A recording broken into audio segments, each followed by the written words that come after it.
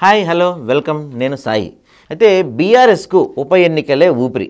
మరోసారి అదే పనిలో ఆ పార్టీ పడిందా?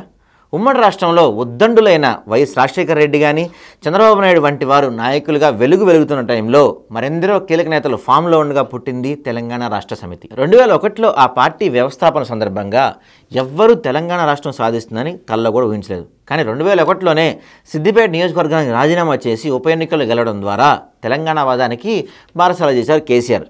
అలాగే బీఆర్ఎస్ ఆవిర్భావమే ఉప ఎన్నికతో ముడిపడింది. ఉమ్మడి రాష్ట్రంలో చంద్రబాబు నాయకత్వంలో టీడీపీని ఎదుర్కొని మరీ కేసీఆర్ సిద్దిపేట ఎమ్మెల్యే గెలిచారు. రెండు వేల ఒకటిలో తనను సిద్దిపేటలో ఓడించేందుకు దాదాపు ముప్పై కోట్లు చంద్రబాబు ఖర్చు పెట్టారని కేసీఆర్ ఒక సందర్భంలో చెప్పారు. రెండు వేల ఆరు రెండు వేల ఎనిమిది రెండు వేల పది ఉప ఎన్నికల్లో జోరుగా టీఆర్ఎస్ ఉండగా రెండు వేల నాలుగులో కాంగ్రెస్ పొత్తు పెట్టుకొని ఎన్నికలకు వెళ్ళింది ఆ పార్టీ. అప్పట్లో కేసీఆర్ కరీంనగర్ నుంచి ఎంపీగా గెలిచారు. కానీ కాంగ్రెస్ నాయకులు కేకే కాకా వంటి వాళ్ళతో సవాల్తో రాజీనామా చేసి రెండు వేల ఆరు ఉప ఎన్నికల్లో మళ్ళీ ఎన్నికలకు వెళ్ళారు. అందులో ఘన విజయం సాధించారు. తెలంగాణ వాదాన్ని దన్ను కోసం మరోసారి రెండు వేల ఎనిమిదిలో ఎమ్మెల్యేలతో కలిసి రాజీనామా చేశారు. నాడు చేదు ఫలితాలు ఎదురైనా తట్టుకున్నారు.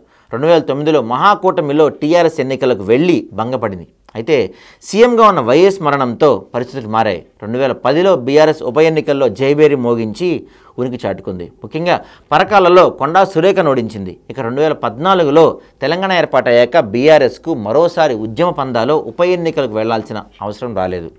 రెండు వేల పద్నాలుగులో కేసీఆర్ మెదక్ ఎంపీ స్థానానికి రాజీనామా చేశాక వరంగల్ ఎంపీ కడియం శ్రీహరిని ఎమ్మెల్సీని చేయడంతో ఉప ఎన్నికలు వచ్చాయి. వాటిల్లోనూ బీఆర్ఎస్ గెలిచింది.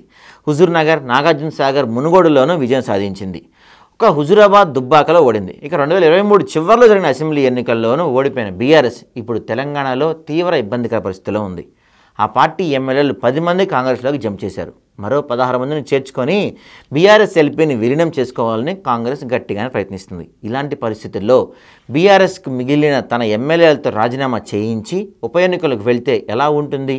అందులోనూ ఉప ఎన్నికలు ఆ పార్టీకి బాగా కలిసి వచ్చాయి కష్టకాలంలో ఊపిరి పోశాయి. ఇప్పుడు కూడా కాంగ్రెస్ ప్రభుత్వ తీరును నిరసిస్తూ బీఆర్ఎస్ ఉప ఎన్నికలకు వెళ్తే అయితే ఇక్కడ ఒక హైలైట్ పాయింట్ ఏంటంటే బీఆర్ఎస్ ఉప ఎన్నికలకు వెళ్ళినా వెళ్ళకపోయినా రాష్ట్రంలో మరో ఉప ఎన్నిక తప్పదనే పరిస్థితి ఉంది. ఎస్ రైతు రుణమాఫీని పూర్తి చేస్తే తాను రాజీనామా చేస్తానని బీఆర్ఎస్ కీలక నేత సిద్దిపేట ఎమ్మెల్యే హరీష్ రావు ఒకసారి శపథం చేశారు. మరి ఇప్పుడు రైతు రుణమాఫీ పూర్తి అయిపోయింది. మరి హరీష్ రావు రాజీనామా చేస్తారా చేయరా? రాజీనామా చేస్తే ఉప ఎన్నిక వస్తుందా? రాజీనామాను యాక్సెప్ట్ చేస్తారనేది మాత్రం ఇంకా తెలియాల్సి ఉంది.